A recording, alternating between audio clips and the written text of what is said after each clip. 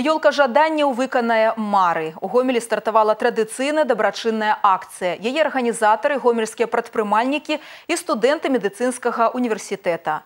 Збор падарункаў праходзіць у гандлёвым цэнтры сакрэт.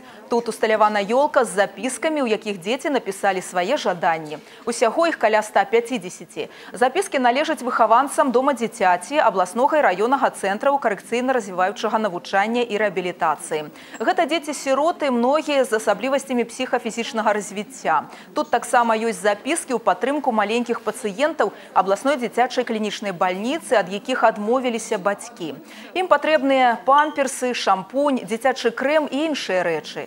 Прымерыць на сябе ролю Деда Мароза і выканаць дзіцячае жаданне можа кожны. Акцыя працягнецца да пачатку студзеня.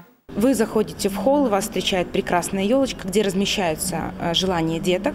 Вы можете выбрать любое понравившееся вам желание и оставить э, подарок для этого ребенка в администрации торгового центра «Секрет». Но для тех, кто не имеет возможности прийти сюда и поучаствовать здесь непосредственно, они могут обратиться в администрацию медицинского университета. Мы с радостью расскажем и поможем им осуществить желание ребенка.